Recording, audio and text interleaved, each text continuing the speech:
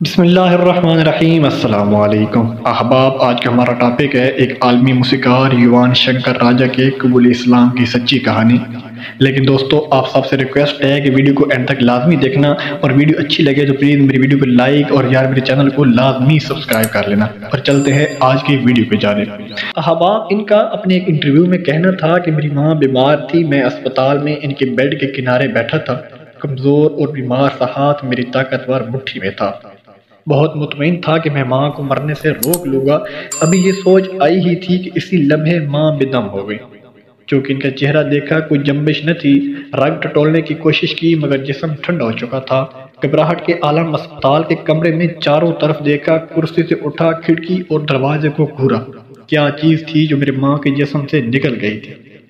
कमरे में ऐसे घुमा जैसे जाने से रोक लूँगा। कुछ न कर सका मजबूरी और बेबसी के आलम में मुर्दा माँ के सराहने लगकर देर तक आँसू भरता रहा।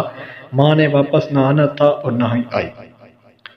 अहबाब युवान शंकर राजा ने कहा कि एन उसी वक्त सऊदी अरब में मुकीम एक दोस्त की याद आई। वो मुसलमान था और कई बार अल्लाह ताला की ताकत और बड़ाई बयान कर चुका था। मैंने इसे फ़ोन किया और माँ की मौत से आगाह किया। मेरे दोस्त ने इस्लाम को समझने की हदायत करते हुए कहा कि मौत अल्लाह की निशानियों में से एक है, रूहें अल्लाह की तरफ़ से आती हैं और वहीं वापस चली जाती हैं। तुम्हारे तमाम सवालों के जवाब कुरान मजीद में मिल जाएगा। मैं तेज़ी से उठा, मेरा घर मेरी मंजिल थी, इस रोज़ मंजर ही कुछ और था।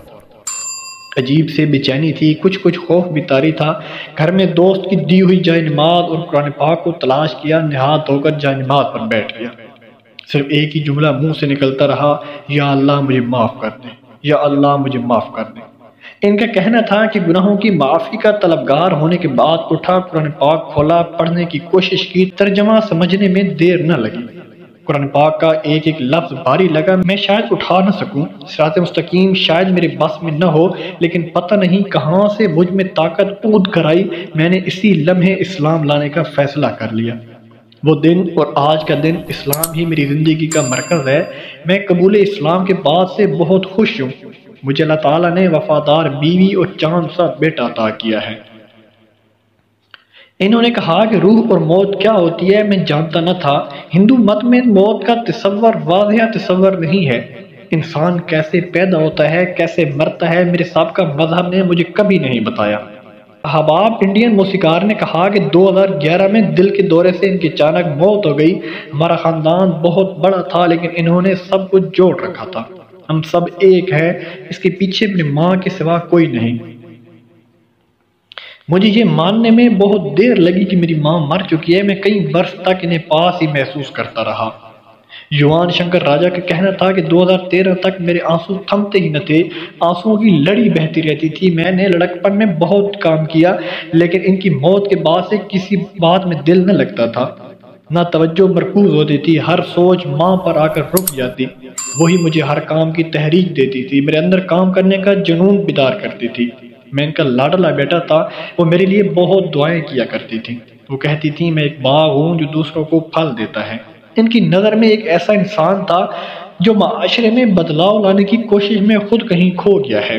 खुद को भूल चुका है। वो जानती थी कि मुझे सबसे प्यार है, मैं भी दूसरों में प्यार मानता हूँ। युवान शंकर राजा ने बताया कि मेरे वालिद कट्टर हिंदू है, मेरी माँ भी हिंदू मत से ताल्लक रखती थी, लेकिन मेरी सोच दोनों से ही अलग थी। मैंने सोचा था कि कोई सुपर ताकत है जिसने दुनिया बनाई और अब इसे कायम रखा हुआ है। तो है जो निज़ाम हस्ती चला रहा है। मुझे हमेशा इससे खुदा की तलाश थी। मैं ये भी सोचता था कि भला खुदा किसी शक्ल में कैसे हो सकता है? यानी बुत कैसे खुदा बन सकता है? इसे खुद इंसान ने बनाया, वो कैसे इंसान का खालिक बन सकता है? इन्होंने तस्लीम किया कि मेरी सोच कैसे ये राज पाया। ये मेरी माँ की मौत का वक्त था जिसने मेरे अंदर की तलाश को पूरा कर दिया। मैं किसी काम की गर्व से मुंबई आया हुआ था। जब चेन्नई वापस पहुँचा तो मेरी माँ बुरी तरह खांस रही थी। मैंने कार में हस्पताल ले गया, बहन भी साथ थी। वो कहते हैं कि मैंने नाम नहीं बदला, हिंदू नाम से बेचैनी हो रही है। मैं अपना नाम जल्द ही बदल लूँगा, फौरी तब्दीली से शहरीत का मसला खड़ा हो सकता है। इसने 31 अगस्त उन्नीस सौ उनासी को चिनाए के अमीर बरहमन घराने में आँख खोली। का खानदान पानीपुरम से तल्लक रखता है। ज़िंदगी भरपूर तो होना ही थी, बाप का मिजाज ही और था। बिल्ली रास्ता काट ले तो घर में पुजारी डेरा डाल लेते थे। गिलास टूटने पर भी प्रार्थना की महफिल जमती। ये मंजर बचपन ही से शंकर की आँखों में खटकते थे। बरहमन सोच के साथ पैदा होने के बावजूद इस मन में बरहमन समाज के हवाले से कई सवाल उठते, जिनका कभी जवाब न मिल सका। इंसान को कौन पैदा करता है? इंसान मरने के बाद रूहें कहाँ जाती हैं? मुर्दे को जलाने से क्या मकासद हासिल होता है?